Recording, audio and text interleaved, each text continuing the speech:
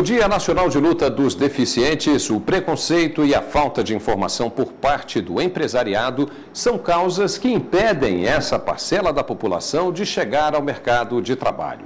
Uma lei federal sancionada em 91 que obriga empresas com mais de 100 funcionários a destinar vagas aos deficientes não é cumprida à risca no Brasil. A pedagoga Maria de Lima conhece bem a dificuldade de entrar no mercado de trabalho. Deficiente desde os dois anos de idade, ela sempre enfrentou o preconceito de algumas pessoas e empresas, mas com esforço tem vencido as barreiras. Na realidade, a pessoa com deficiência ela quer mais uma atenção especial dos empresários da rede pública, assim, quanto à contratação, na qualificação, na, no atendimento, entendeu? Que às vezes nós cadeirantes ficamos até prejudicados. Existe a vaga, mas às vezes eles não querem o cadeirante nem o deficiente visual, porque diz que não tem adaptações adequadas, não tem o um local adequado. Se não bastasse a falta de vaga no mercado de trabalho, os deficientes físicos e visuais são obrigados a lidar com o descaso quando conseguem um emprego. As empresas muitas vezes não cumprem as regras e deixam de garantir acessibilidade e equipamentos próprios para as atividades. Para buscar uma solução para esses problemas, uma lei federal sancionada em 1991 tem o objetivo de estimular a contratação de pessoas com deficiência física ou visual. A legislação em vigor determina que as empresas com mais de 100 funcionários devem destinar de 2 a 5% das vagas nos postos de trabalho para profissionais com deficiência. A porcentagem aumenta de acordo com o número de funcionários.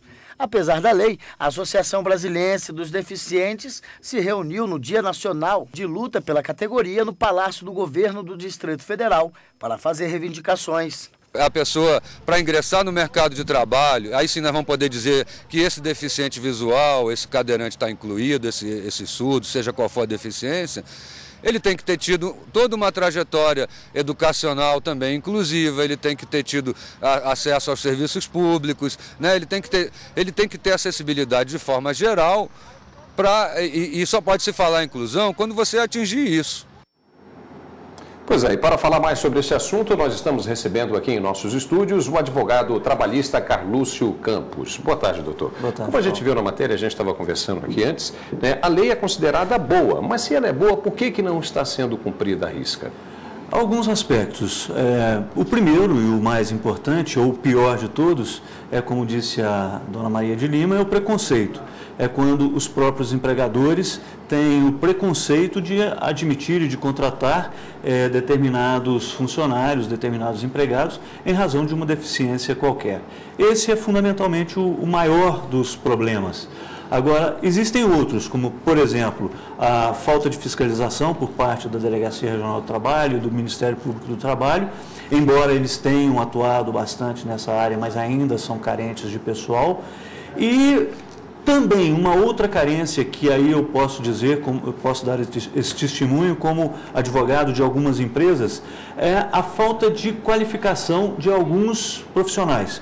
Algumas empresas, seja pela atuação do Ministério Público, seja pela atuação da Delegacia Regional do Trabalho, querem contratar, mas encontram uma dificuldade em razão da dificuldade, da, da, da falta é, de qualificação de alguns profissionais. Mas aí também já seria uma coisa, um outro departamento talvez seria até um pouco mais difícil qualificar um, um profissional deficiente. Talvez seria isso, né? O senhor está dizendo que se o profissional tiver melhor preparado, ele vai ter mais facilidade de encontrar né, um posto de trabalho à disposição. É, é isso mesmo. O, Aparentemente, os órgãos públicos, de uma maneira geral, se preocuparam muito em qualificar é, os deficientes físicos é, para aquelas atividades primárias, aquelas atividades mais simples. Quando, na verdade, hoje já se, já se busca um segundo tempo a respeito disso, que é uma qualificação maior para, para esses profissionais, em, no, no, em atividades terciárias, por exemplo.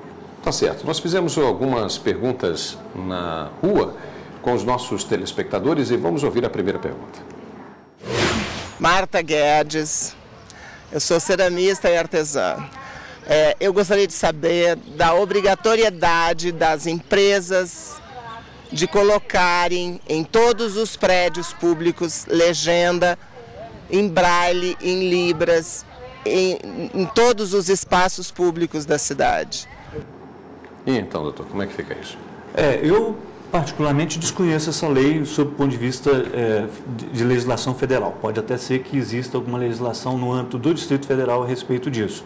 Mas é, é exatamente essa a questão. Às vezes, determinados órgãos públicos, mesmo órgãos públicos, é, você encontra um preconceito muito grande em atender a, essa, a, a reivindicação dessas, dessa camada, dessa faixa da sociedade que carece desse tipo de, de, de atitude simples que são é, exigíveis de qualquer órgão público e de qualquer empresa. Então, o senhor acredita que a lei precisa ser melhorada? O senhor disse que ela é boa, mas uhum. então ela precisa ser melhorada ainda? Toda contribuição que vier para o, o, processo legislativo que venha melhorar uma determinada legislação, ela vai ser sempre bem-vinda. A nossa legislação, especificamente, no que se refere à contratação de servidores públicos, foi um avanço é, da Constituição Federal de 88 e depois da Lei 8.213, que abriu eh, essa obrigatoriedade da, é, para que as empresas contratem. É, deficientes físicos, foi um avanço muito grande e realmente comparando com outros países, principalmente nossos vizinhos aqui da América Latina, é um avanço fantástico. Mas qualquer legislação que venha contribuir para esse tipo de, de atendimento a essa camada da sociedade vai ser sempre bem-vinda. Nós temos mais uma pergunta de nossos telespectadores. Vamos ouvi-la. Meu nome é Helena Rita Pereira, sou assistente em educação. Eu gostaria de saber a diferença entre reabilita reabilitado e o deficiente na cota de, no mercado de trabalho. E doutor, é com o senhor. Praticamente nenhuma diferença. O reabilitado ou habilitado é tratado pela lei da mesma, da mesma forma.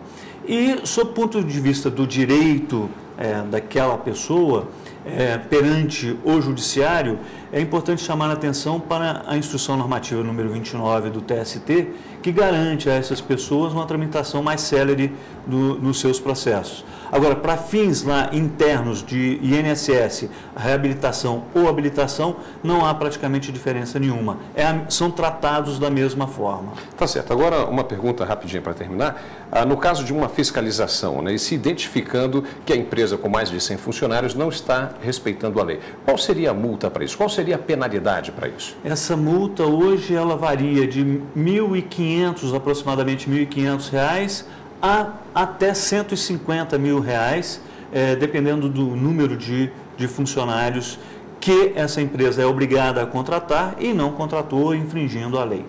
Tá certo. Doutor Carlos, muitíssimo obrigado por sua participação aqui no Jornal da Justiça, primeira edição. Uma boa tarde.